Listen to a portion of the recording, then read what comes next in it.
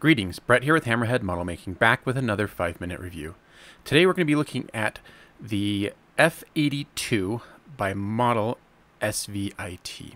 And if I'm pronouncing that wrong, I apologize. I'm not quite sure how I'm supposed to pronounce that. But this is a kit that I won at a recent competition and really didn't know much about it and really didn't have a lot of interest in the F82. But after opening up this kit, I was really impressed with some of the quality in this kit. So, um, I feel like it was a good thing to bring it to you guys and show you what's what's here. So this is essentially two Mustangs, you know, stuck together. But in reality, this was really not. I mean, it's not like they were P51Ds taped together.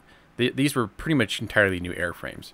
Um, but you can see from these sprue shots that you get a lot of detail packed in here. The the surface detail on the fuselage is very nice. Uh, you get a lot of good interior detail. Lots of wiring and cabling is represented. Um, obviously, you get two full cockpits, and uh, they the uh, detailing on the wings is pretty minimal. I assume that's because, like the earlier P51s, it used you know that North American laminar flow wing, um, and lot, you know all the rivets would have been puttied over. Uh, the plastic all does come in one giant bag, so there was a lot of scratches, especially on the large wing sections. Fortunately, the clear parts are kept separate, um, and they are for the most part pretty clear. It felt like the the front windscreens kind of had a little bit of a grain to them, a little bit of a texture. Um, but the bubble part was very clear and uh, very nice. But it's it's nice that they are kept free from the rest of the parts. The decals are Cartograf and they look absolutely fantastic. I mean, there's almost no carrier film around the printed decal, so very minimal, very nice uh, you do get options for four different markings in the kit. Um, you do get a set of what looks like vinyl masks, as well as a decent little set of photo etch, uh, mainly for seat harnesses, exhaust, and instrument faces. Um, the instructions are very nice, very clear, with you know full color callouts, which is it's just something like once you see it, you realize like why don't other manufacturers do this? Because it's very helpful. But I get it. I mean, it's probably more expensive to print this than it is to print black and white, so I get it. But it's very nice and very handy to have.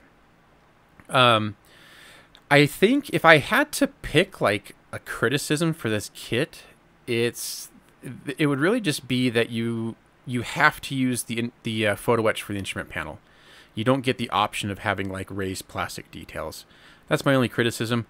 Uh, otherwise, it looks like a great kit. The markings are all very colorful, um, and really looking forward to being able to put this one on the bench. Um, so here's some close-up shots where you can really see the great definition between panel lines, fasteners, rivets.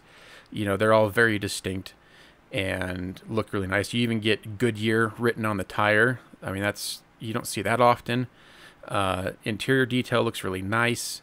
You get separate sidewalls, so it should make painting relatively easy. The seats are built up into uh, out of multiple parts.